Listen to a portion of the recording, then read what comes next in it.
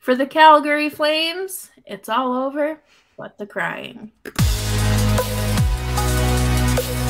Your Locked On Flames, your daily podcast on the Calgary Flames.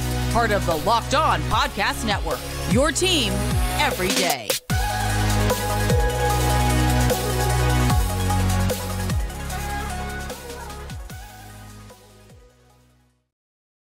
Hello, everyone, and welcome to today's episode of Locked On Flames. As always, I'm your host, Jess Belmosto, joined by my partner in crime, Nick Zararis. Nick, how are you doing today? Uh, it's snowing, but it's not sticking. It's fine. This is a fun time of the year. Everybody's looking at the standings every day to see where their team is. We're in the meat grinder stretch of the season.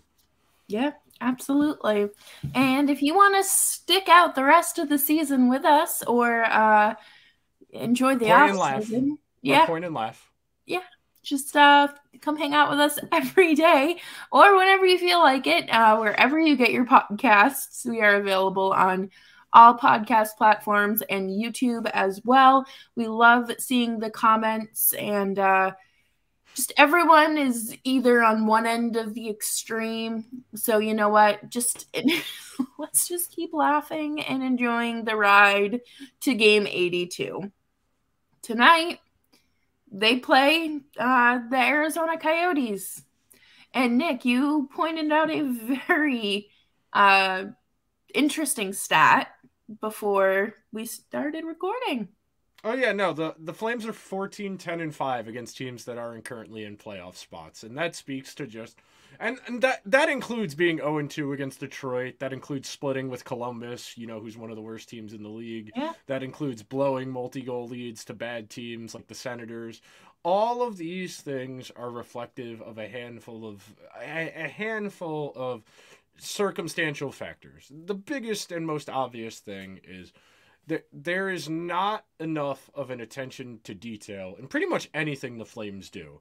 And that speaks to leadership. And we're all operating under the assumption that there is a real leadership vacuum in the organization right now, which is entirely being smothered by the coach, where it's his way or the highway, and his guys get what they want. And everything from that, everything stems from that all of the little things that everybody crops up with, whether it be the line combinations, who gets what ice time, who gets power play, which young players get opportunities, all of those little things, they trickle down from the coach deciding everything because there isn't an established veteran leader on this team who's named captain or fills that leadership role.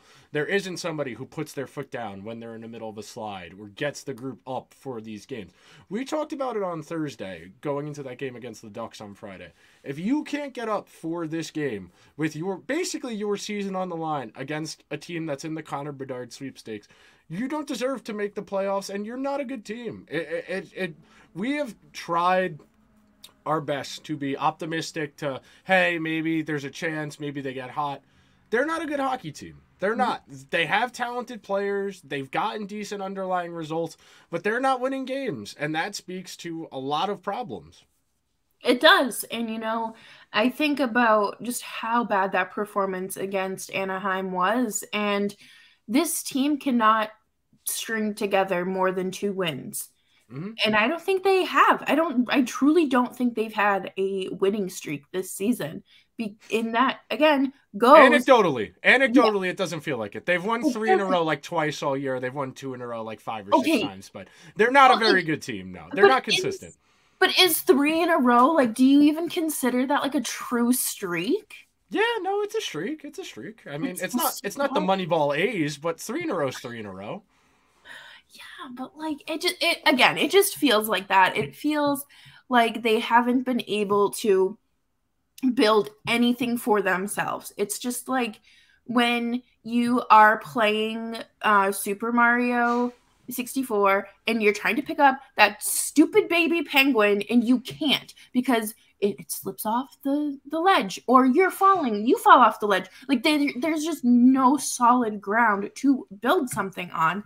And that's very unfortunate because you know this team or i shouldn't say this team but brad treliving invested a lot of money and time and effort into constructing this roster just for it to pan out the way that it has because of a coach and his stubborn ways. And that is a true disservice to these players. Everybody. Yeah, to everyone. I the stuff about like putting Jonathan Huberdeau on the right wing made no has made no sense. He it's not like he's a young player like Dillon Dubé who kind of has that versatility where he could play center uh, or you know his opposite wing. Jonathan Huberdeau has built a career and solidified a career off of the success on his left wing.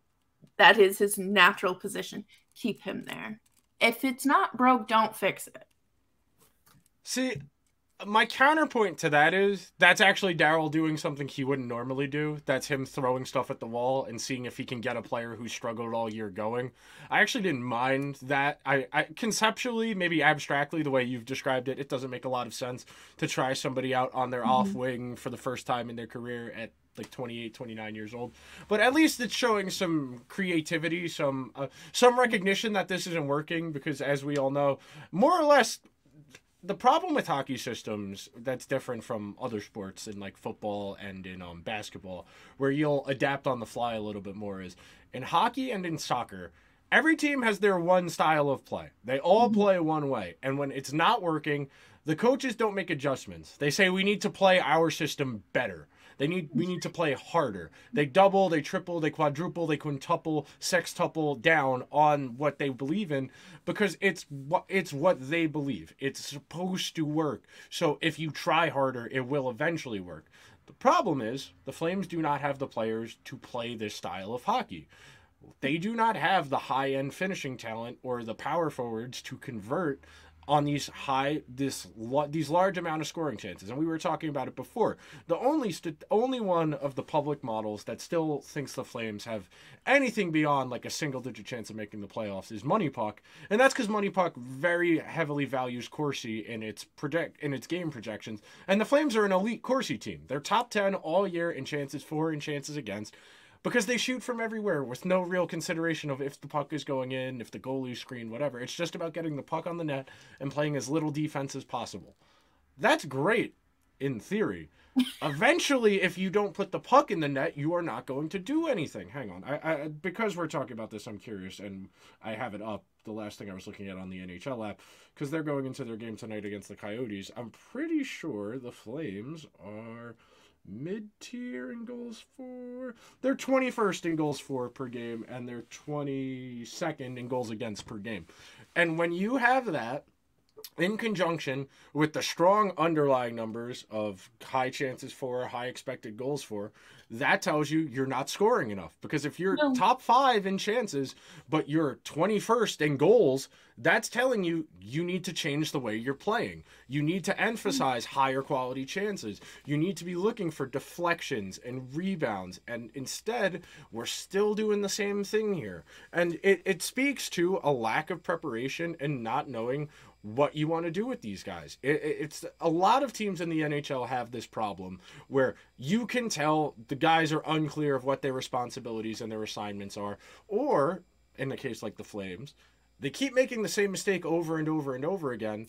And there's never any correction. There's never any teaching no. moment. Like even if something gets pointed out in the video room, it doesn't change. It, guys on the Flames have been making the same mistake all year.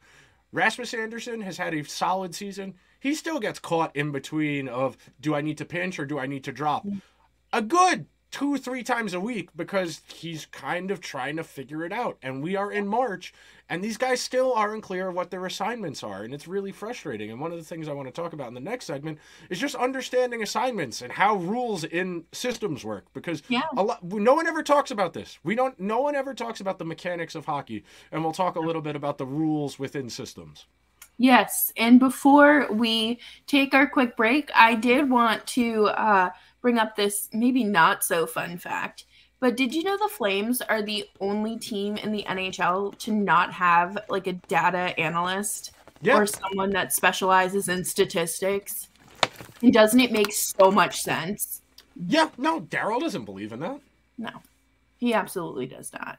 But we're going to talk about the mechanics and the systems and all that fun stuff in hockey because, you know, I think it's so important to actually understand that. And um, before we do that, I do want to talk about uh, our good friends at FanDuel uh, March Madness is here, you can head on over to FanDuel. if you're not watching on YouTube, Nick just lit up like a Christmas tree, happy as can be. And now you too could be happy like that when you uh, become a new customer and get that no sweat first bet up to one thousand dollars in bonus bonus bets back if your bet doesn't win. You can bet on the spread. You can bet on player props, points, rebounds, assists, and you get uh, a lot of different exclusive bets only available on FanDuel. And you can check out um, FanDuel at fanduel.com slash locked on to get that no sweat first bet. Again, that is fanduel.com slash locked on to learn more. Nick, before we wrap it up, did you make a bracket? Uh, I'm sitting down to do that. I, I'm doing our show now. I just recorded something for Liberty Blue. We're doing a Giants pod after I finish with you. After I take care of the Giants pod, because they traded for someone, they signed a free agent yesterday, I'm going to sit down and do my bracket research that will inevitably lead me nowhere because there is no researching for your bracket. There is no logic, there is no rhyme, there is no reason. I will be filling at least two out, though. I always do two. Well, have fun and make every moment more with FanDuel, an official sports betting partner of the NBA. One time, I um my homeroom freshman year filled out a bracket, and if we like came closest or won, we got a pizza party. I think I picked Duke because that was just like the most common sense answer, and well, my pizza party. my greatest claim to fame in in my long illustrious career of filling out March Madness brackets was having Butler and Duke in the in the uh, Duke and Kentucky in the final and two not Duke and Kentucky Butler and Kentucky. The in the, in the year in uh, I think it was 2009 when Gordon Hayward shot the half court yeah. shot as time expired. And I really thought I was about to have my bracket be, have the national champion right and the game right on a three that from half court. I was the the scream, the wail I let out when that ball rimmed out. You probably heard that. It, you probably heard that on the other side of the country. That's incredible. Yeah, you know, I think it's just fun. Uh, the men's and women's tournaments always just so much fun to watch. Um, it's a great opportunity to slack off during the week. Thursday and Friday, no work gets done. Yeah, anywhere in the United States, it's you terrific. Can, yeah, it's just an excuse to be unproductive. Um, speaking of unproductive. let's talk about the Flames and their system because it's a lot different this year than last year. And I know that you are a big film guy, uh, not just movies, but like actual hockey film. Uh, do you want to break it down for us? Like we're five see, years old. I'm gonna see how well the webcam can pick up my hand drawn schematic. That's not bad, actually. Oh, that's not I can. Bad. That's not bad at all. So this is what the Flames forecheck is supposed to look like. That's the defenseman recovering the puck with the X. The the first forward in, the one in the middle there, is supposed to lightly pressure the carrier to try and get them to change sides either way, as opposed to breaking out up the middle. And without that first guy pressuring well, this guy has more time to make out that first outlet pass. And without that first forechecker doing their job. The guys along the wall are not being going to be able to cover that middle, and you've seen the Flames struggle with converting that pass when guys have that first pass out cleanly. You have seen the Flames struggle to get back because they mm-hmm. have talented defensemen, but none of them are particularly fast or great skaters, and they really struggle there. And when their forecheck was at its best last year, it was a buzzsaw. It was impossible to break out against.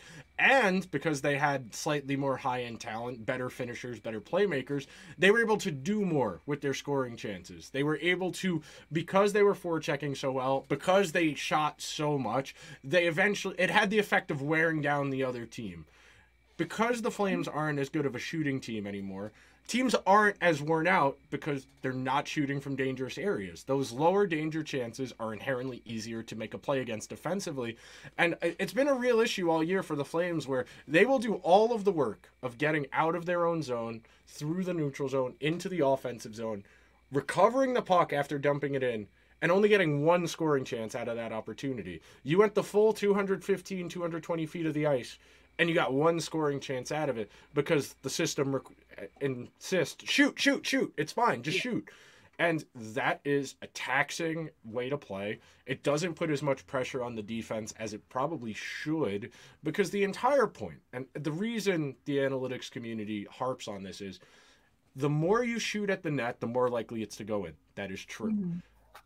It's better off if you're a little more selective because the more dangerous your chances, the better chance it has of going in.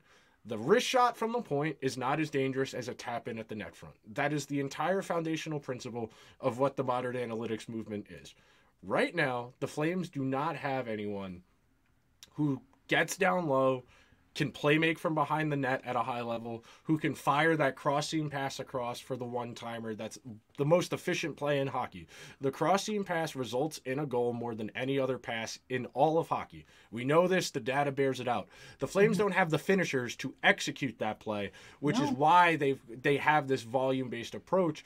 But this volume based approach has real limitations, and you're seeing them this year because they don't have the finishers to take advantage of so the way I always try and explain this is yeah, expected goals doesn't account for who's shooting the puck yet. We haven't really, the math people haven't figured out a way to kind of individualize each shooter's shooting talent to themselves yet.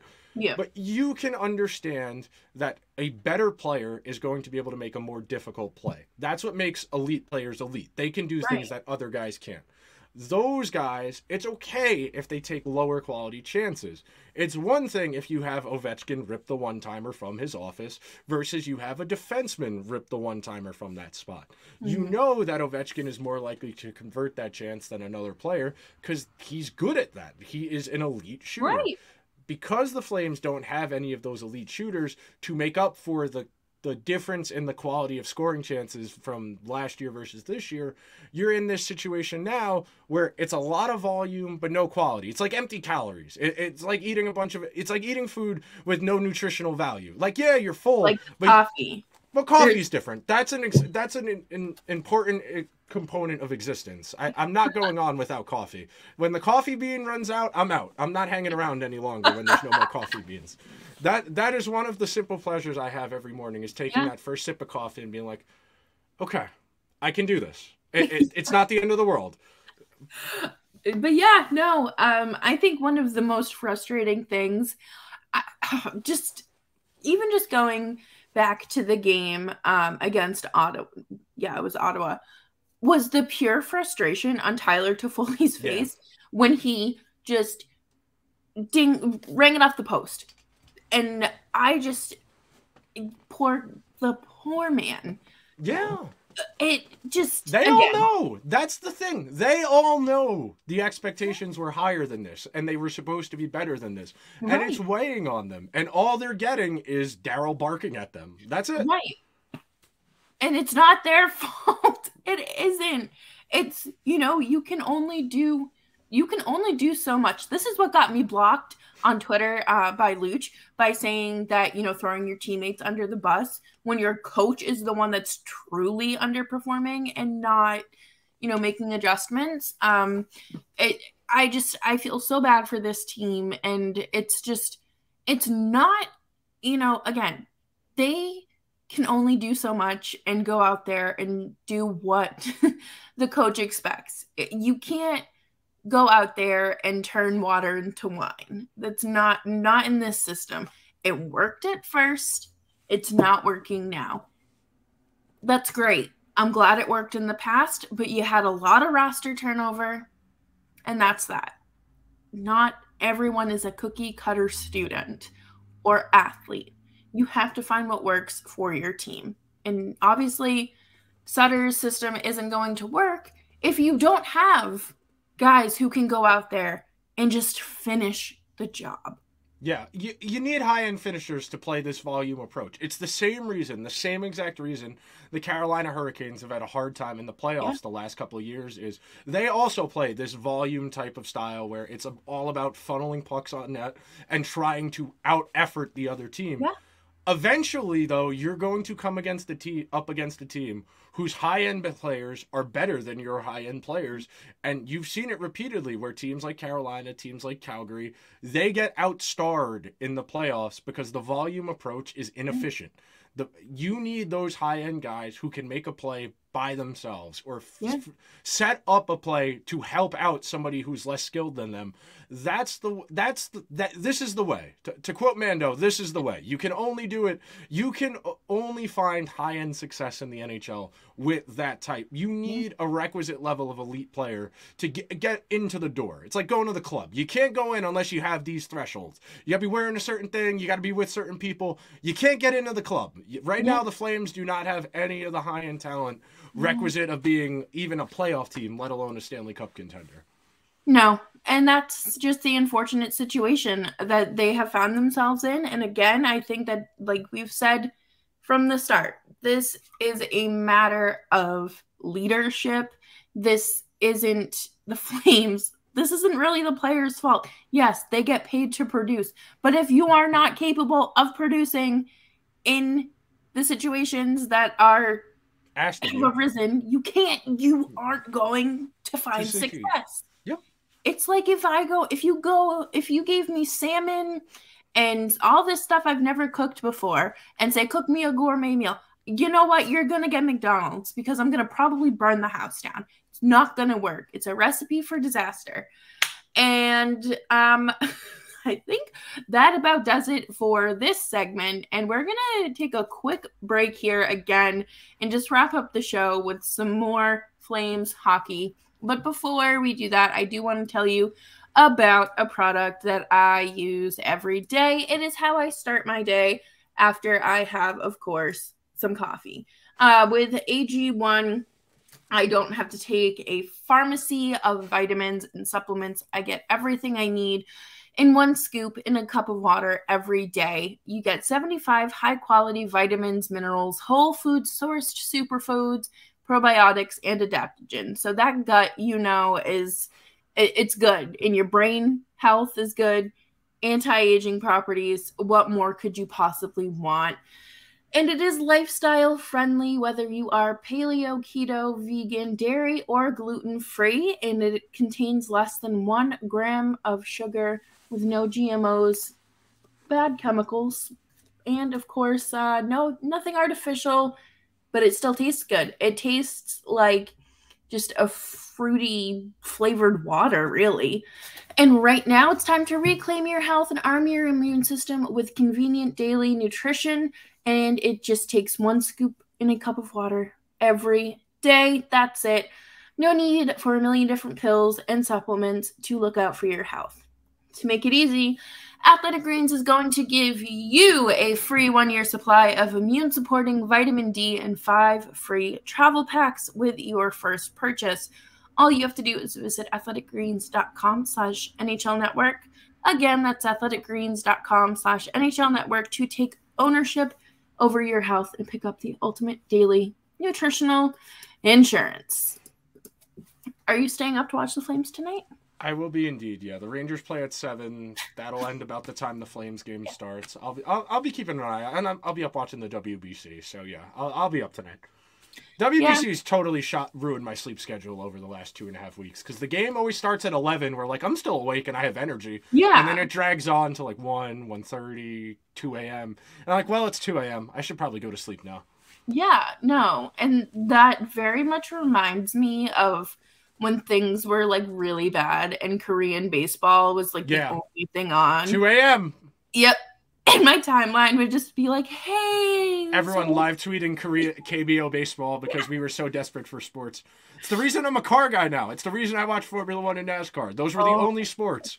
It was Formula One, golf, NASCAR, and uh, Korean baseball. That was Yeah. all we had in April, May, and June of 2020. Hard to believe that was three years ago. Yeah. That's that's wild to me. Yeah.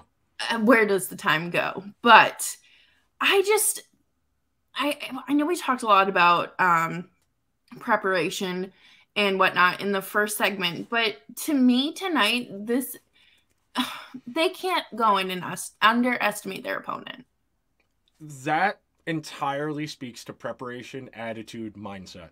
If you are a team that shows up and knows your job, you take care of business against bad teams. That is often the difference between good and mediocre teams is the good teams, they find a way to get up for Columbus, Arizona, San Mhm. Jose, Chicago. The mediocre teams, they take every game, every game, they show up, they try their best, and that's it. And it, this it was something it's really I'm trying to think of how I want to describe it. Uh, so the idea behind having a system you fall back into is that's your that should be instinctual. Like you know it based on thousands and thousands of repetitions that when in doubt, this is my responsibility. This is what I'm supposed to do. But when you are a team that lacks an attention to detail, you get confidence issues like we've discussed ad nauseum this entire season. You start creeping your doubt starts to creep in. You don't fall back on your good your your practiced habits. You don't fall back on your system. You freelance. You force a pass you shouldn't. You skate. You get caught uh, in between on a pinch. You break your rules. Like the entire idea behind rules in a system is if the other team does this, you do that. If they do that, you do this. The Flames, like most inconsistent and mediocre teams, they're they're just going for it. They're freelancing. They're guessing what they should be doing as opposed to knowing what they need to do, especially defensively, where they haven't been as good as they were last year. Granted, they have different personnel. They lose a really mobile guy like Kyle Chillington who brings a skill set that they don't really have in somebody who's really efficient at breaking out of their own zone, which has been an issue for them at times where they've gotten cycled into oblivion by the other team until they make a mistake in their own zone and it ends up in the net, whether that be one of the one, many ones that's deflected in off of Tanev this year where just unfortunate luck, but you keep getting cycled over and over again. Eventually something bad's going to happen. Yeah, no, absolutely. And I just I can't help but think of how different this defense may look if Kylington and again, this is not me blaming him. Yes, exactly, exactly. Like what would things look like if he had been here? It's one of those, you know, what if situations that you find yourself in in hockey, you know, whether it be like, oh, like what happens if Johnny resigned? Does Matthew stay too? Like what's, you know, it's one of Domino those effect, yeah. yeah, you just spiral out of control. And I think that the Flames are very good at spiraling out of control. I'm so proud of them, like unbelievably proud of them for not letting that first period against Ottawa get to them to the point where they would be the ones losing five to one. You know, it the frustration was there. I get it.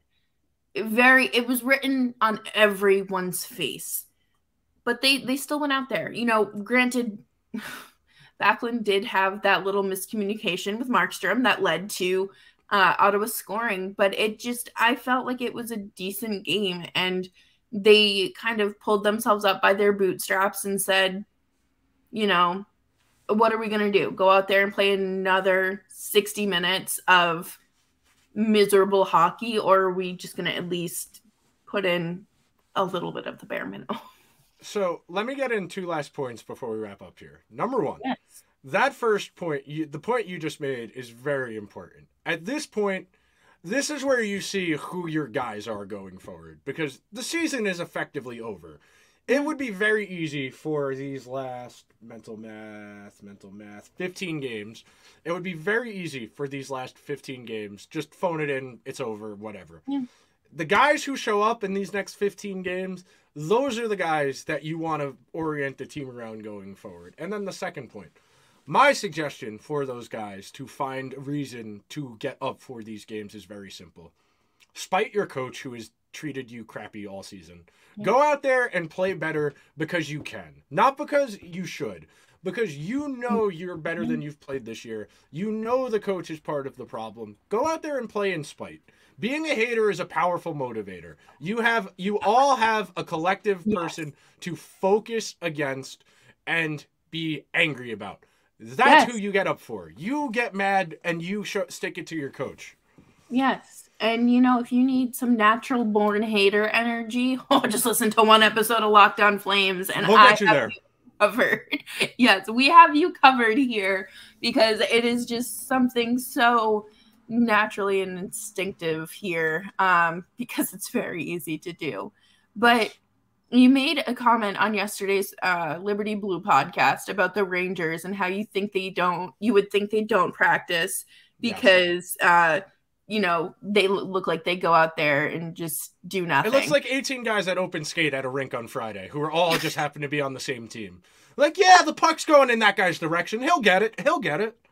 Do you see a similarity yes, there? Absolutely. Yeah. Absolutely. The Rangers do not fall back on their system whatsoever. They have 18 guys freelancing because they either don't care what their responsibilities are, the coach doesn't correct the mistakes, or they just they just mm. don't know what to do. It's one of those three things. And I would argue the Flames, it's probably a combination of the system not matching the talent and the coach being stubborn and guys getting demoralized and get losing confidence and falling into bad habits because they're demoralized.